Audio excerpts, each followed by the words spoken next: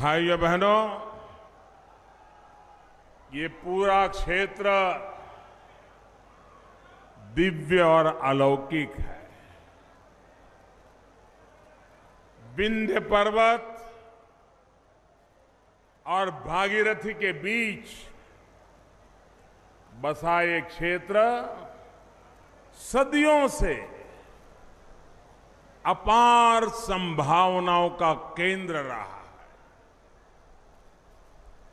इन्हीं संभावनाओं को तलाशने और यहाँ हो रहे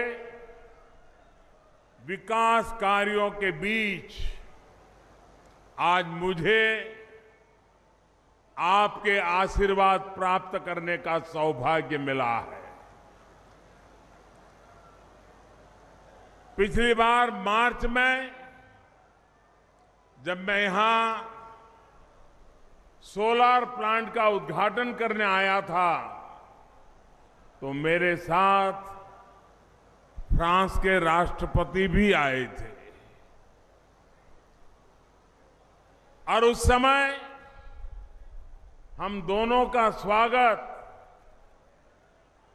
माता की तस्वीर और चुनरी के साथ किया गया था।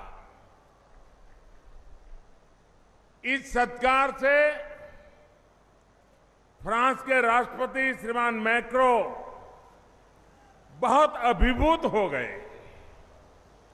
और वो जानना चाहते थे माँ की महिमा को। और मैंने उनको जब माँ की महिमा के विषय में बताया तो इतने वो अचंभित थे, इतने प्रभावित हुए थे। आस्था और परंपरा की इस धरती का चौतरफा विकास ये हमारी प्रतिबद्धता है।